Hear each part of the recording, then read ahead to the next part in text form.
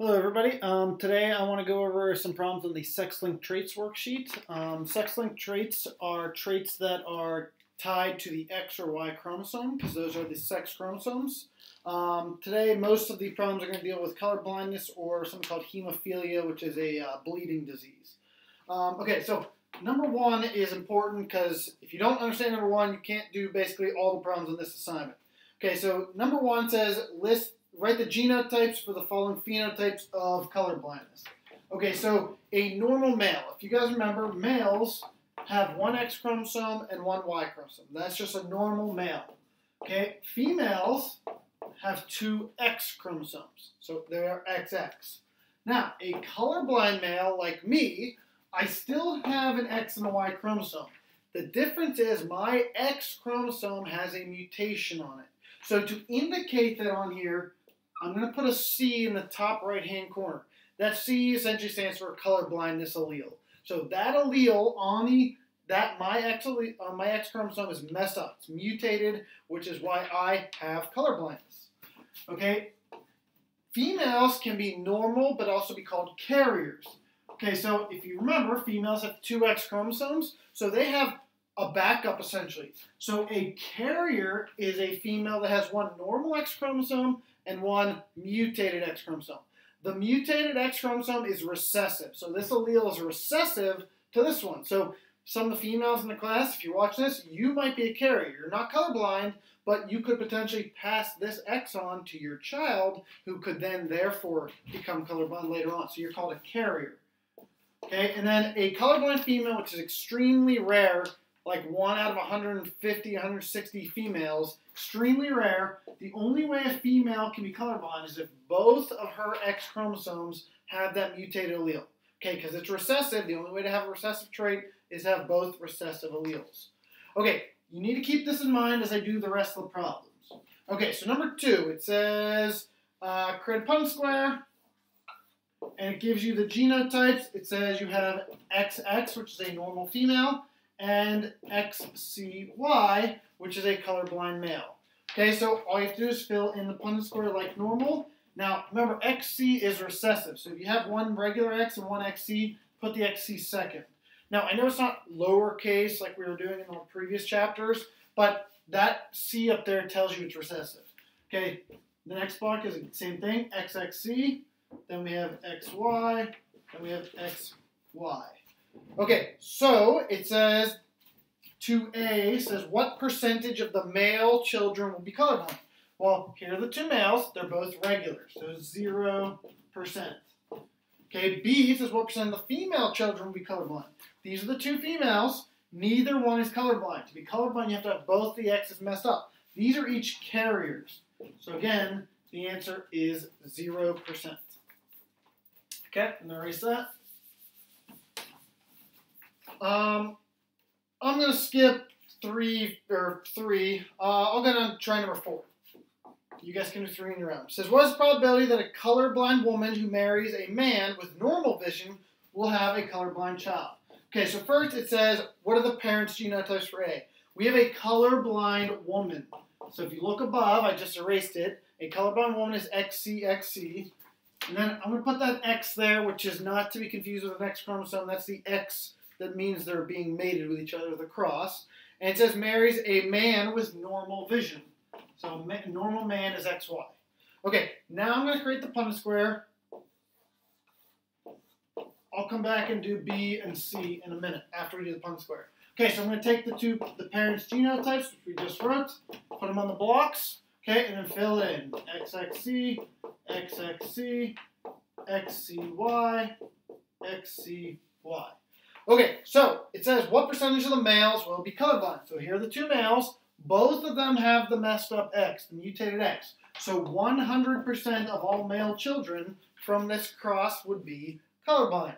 Okay, basically, if your mom is colorblind, all of her sons have to be colorblind because the female gives the X to the male. And if the female is colorblind, she automatically makes the, the sons colorblind. Okay, what about the women? We have two women here, these two. Neither one's colorblind. They're both carriers. So 0% colorblind. Okay, I'm going to erase that. Um, flip to the back. Um, let's try number eight. Number eight, I'm now going to move into hemophilia, which is another recessive X-linked trait. Instead of using a C for colorblindness, I'm going to use an H for hemophilia. Okay, so it says a phenotypically normal woman. So she is normal. So for X or 8A, she's just XX. Okay? She, a phenotypically normal woman has phenotypically normal parents. Um, however, she has a hemophiliac brother. Okay. Um, give me a second here. A hemophiliac brother. Okay, so I'm gonna actually come back to this. This may change. So let's draw a Punnett square. I'll put it over here. Okay, so we have a woman whose brother is hemophiliac. So first, let me just put this up here. We know the man and the woman have XX and XY. I'm going to fill this in like this first. This one you have to do a little bit of uh, deduction. Okay, so it says the brother. So let's pretend this is the woman that we're talking about right here, okay? This is the woman in the problem. She could be that one too. It's one of the two. She says her brother, which would be one of these two, has hemophilia. So that means at least one of these has to have an H on it. That's an H right there, meaning hemophilia. Now, where did that XH come from? It had to have come from the mother, okay? Because the mother gives the X to the kid. Okay, so that makes this girl right here also have a, an H there. Okay, so what is the genotype of the mother? So the mother is a carrier. Even though she's normal, she does not have hemophilia, she passed on that trait to her son. So the woman, the mother, I should say, is XXH. She is a carrier. The father is just a normal man, just XY. Okay, the brother, we know he has hemophilia. There's only one option. He's this, XHY. So this is the brother that we're talking about here. I'm just going to write bro. Cut that off. Okay, um, and then D, it says, what are her chances of being a carrier? So the woman is either one of these two. I know I wrote woman to, to this one, but we don't know which one's the woman. She's one of those two. So she has a 50% chance to be a carrier, 50% chance to be normal. So for D, we're going to write 50%, because the woman's one of these two. The brother, we know, is this one because he has hemophilia. Okay, I'm going to erase that now. You guys can try the rest of the problems on that page. Uh, let's see how much time I got. Okay, um, I will do number, I'm going to skip number 10. I want you guys to try number 10. Some of you guys are going to be confused on it. Um, number 10 refers to birds. Birds use, instead of the X and Y chromosome, they use Z and W chromosomes. They're just their names. Um, so I want you guys to try number 10. I know some of you guys are going to struggle on that one. I don't have time to go over because I only have 15 minutes in these videos. But please try number 10. If you're a little confused on that one, that's not a big deal. We're, the main thing I want you guys to understand is human chromosomes. Okay, I will do number 11 next. It says, what chromosome generally carries the sex-linked trait?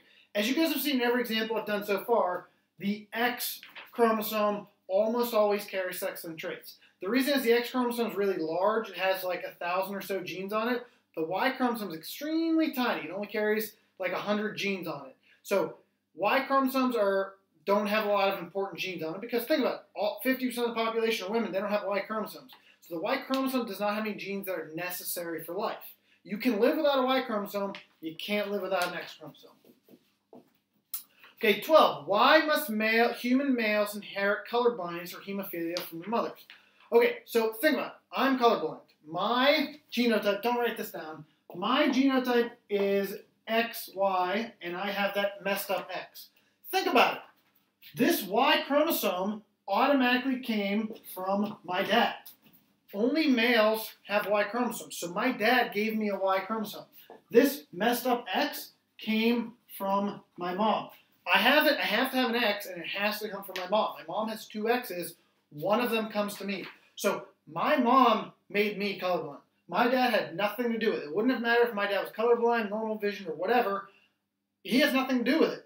It only matters for the mom, at least as far as sons go. So the answer is because mothers pass X chromosomes to their sons. Okay, dad's done. Okay, and then 13, why is color blindness or hemophilia more common in males than in females? Okay, males only have one X chromosome. Females have two, so females have a backup copy. Okay, males only need one messed up copy. Males only need one mutated X, whereas females need two.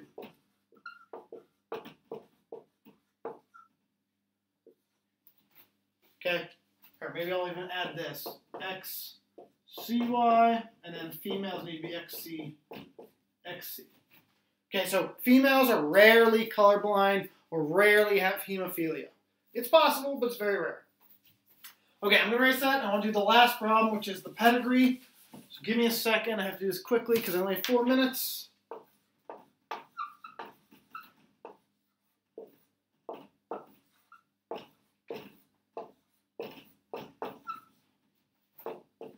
Okay, I'm going to do this quick. On this pedigree, we're going to write the genotypes of each person in relationship to hemophilia. Okay, so first, all the women I'm going to go through and I'm going to write XX. And then all the males I'm going to go through and I'm going to write XY. Okay, now, if you guys remember, if they're shaded in, which I forgot to shade in a couple of these people, it means they have the trait. Okay, so this male has hemophilia. It's going to be real tiny. I'm going to add a little H right here. So here, I'll make it bigger. XHY. Okay, this male also is hemophilia, has hemophilia, so I'm going to put an H right there. And then this woman has hemophilia, so she has to have both of her H's or both of her X's have that mutated allele. So XH, XH. Okay, now I can go and try to figure out the other people that are normal. Okay, so if you look, this female right here, she got one X from dad, but she got one X from mom. So both of her X's have that mutation on it. So this mother in the first generation, she has to be a carrier. Okay, so I'm going to put that little H there. Now, I mentioned this earlier in the chapter. Sometimes you guys are going to see things that are half shaded in. A half shaded in circle like this means that this person's a carrier. They're not hemophiliac, but they are a carrier. Okay, moving on. Um, let's see here. This dad has to give an X to the daughter, each daughter. So he only has one 8X to give. He automatically gives the messed up one because it's the only thing he has to give. We know the mother didn't give a messed up one because if she did, then these two girls would have hemophilia. And then these two men, we know they don't have hemophilia, so we know that they are just normal. Okay, I have two minutes left. Okay, so the two problems, they're not late, they're not numbered or but I'm just gonna put an A, otherwise problem 14. Uh, it says couple 2A and 2 2. So sorry, 2 1 and 2 2. So that's these two right here have a child. What percent chance will they be colorblind?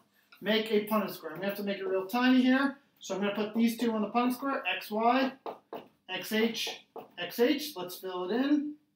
XXH, XHY, XXH, XHY. Okay, so what percent is the child going to have hemophilia? So basically, both men, or all the men will have hemophilia, none of the females will. So 50% of all their kids will have hemophilia. All the sons will, none of the females will. Okay, and then the last problem says couple 2, 5 and 2, 6, which are these ones. So let's do one more small Punnett square. Okay, so I'm going to put XXH, XY, then fill it in, XX, XXH, XY, XHY. Okay, now this time, if you notice, 50% of the males will be colorblind, none of the females. So that comes out to a total of 25% of the children. 25% will have hemophilia. Okay, um, my time's running out. I want you guys to try the rest of the problems I didn't. If you guys have any questions on these, please let me know. Turn this in by Friday at 10 a.m.